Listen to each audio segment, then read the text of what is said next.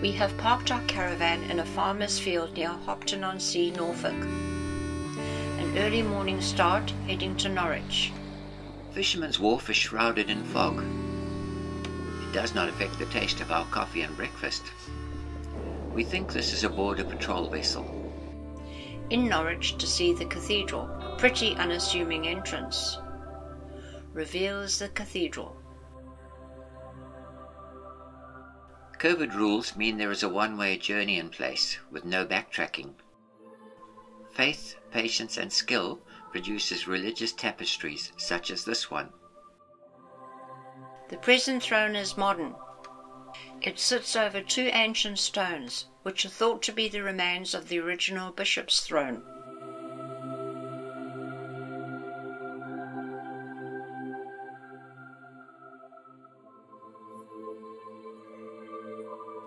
Our visit is on the birth date of Gail's late mother, Jill.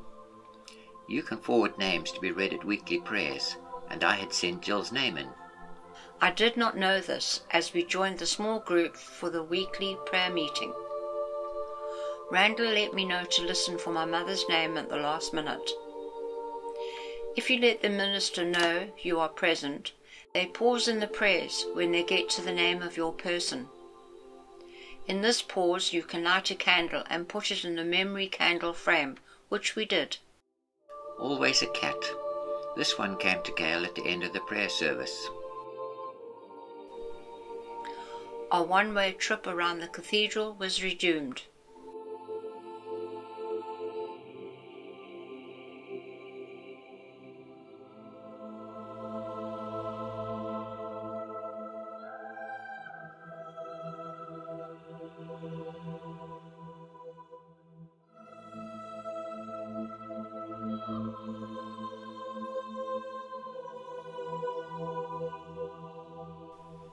All too soon, we're in the cloisters. then outside again. Horsehair Loke is only about 45 metres long with old storage buildings.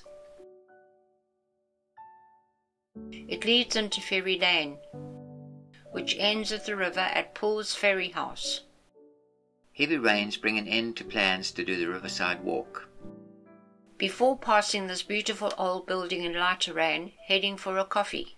Drinking coffee does not stop the rain. Decision made to head back to the van. Change of plan. There is no rain at the coast. We are near Caister and park up to walk the beach. A launch trailer for a lifeboat suddenly appears out of the dunes. We have found the Caister lifeboat team on an exercise drill and stop to watch.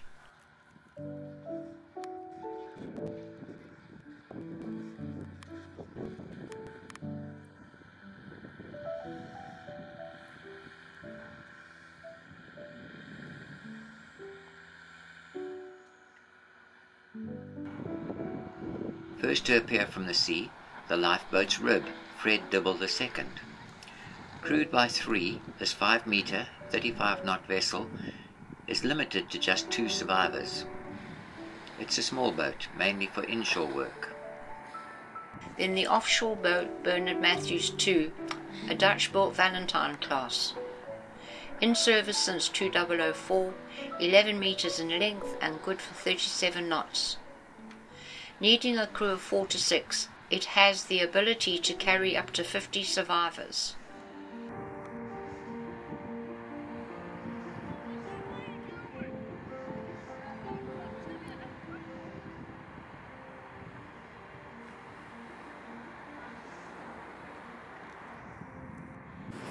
The rib trailer gets pushed into the sea first.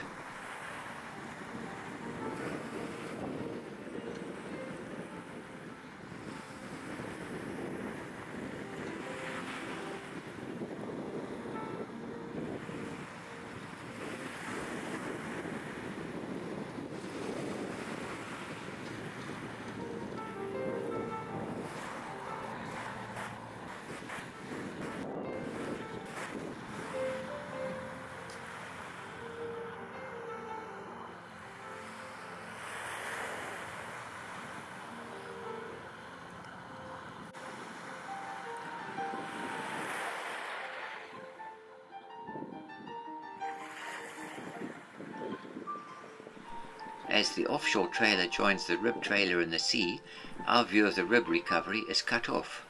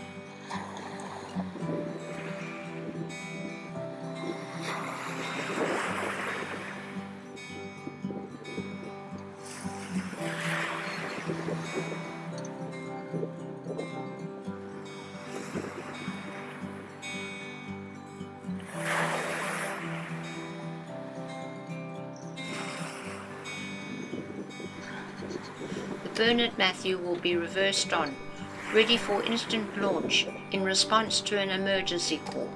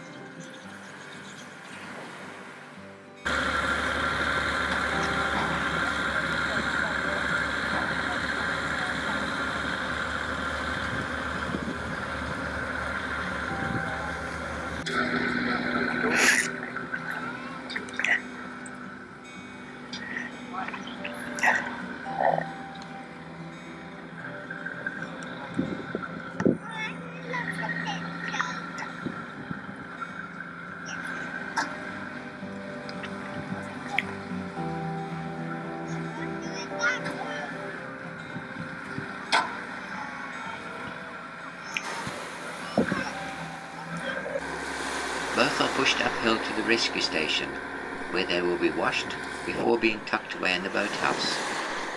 No cafes here, so we move on to Gorleston Beach. Lynette, a dear departed friend, we made this visit in your memory. We remember the photo you showed us, you as a five-year-old in 1945 on Gorleston Promenade, showing the beach and all around, still festooned with barbed wire and anti-tank traps from the war.